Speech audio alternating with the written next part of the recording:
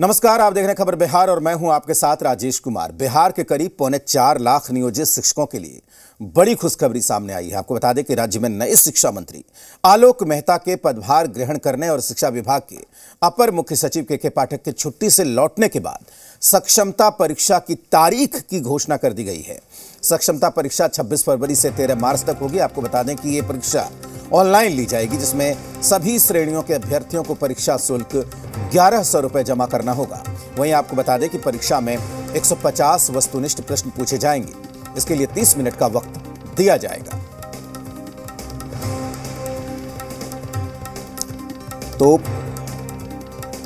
Online परीक्षा लेने की तैयारी है, जिसकी तारीख घोषित कर दी गई है। तो आपको बता दें कि नियोजित शिक्षकों के लिए सक्षमता परीक्षा की तारीख 26 फरवरी से 13 मार्च के बीच ऑनलाइन परीक्षा आयोजित की जाएगी।